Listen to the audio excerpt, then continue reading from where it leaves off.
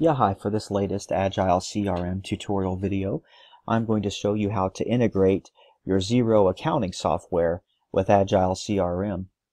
Now, the first thing you need to do is just uh, go to your account and to Preferences, then to Widgets. You want to locate the billing options and then locate Xero simply click Add, link your Xero account. Now I have already created a test account, uh, so my log I've already logged in with this browser, so all I need to do is click Authorize,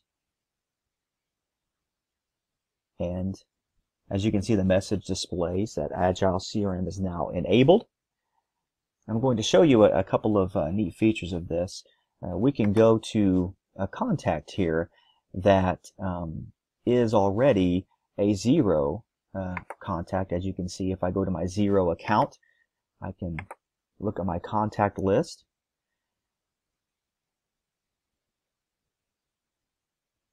And I do have uh, one just uh, test contact here. Uh, this uh, contact, Andre Dawson.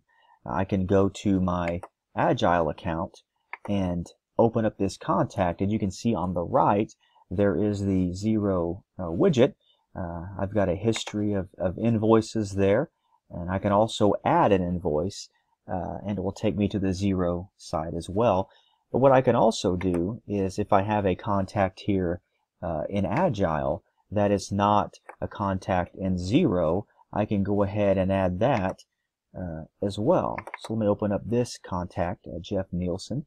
Uh, as you can see, it's it's the messages that no contact has been found. But what I can do is click add a contact, and that's going to add Jeff uh, Nielsen to my uh, to my Xero account.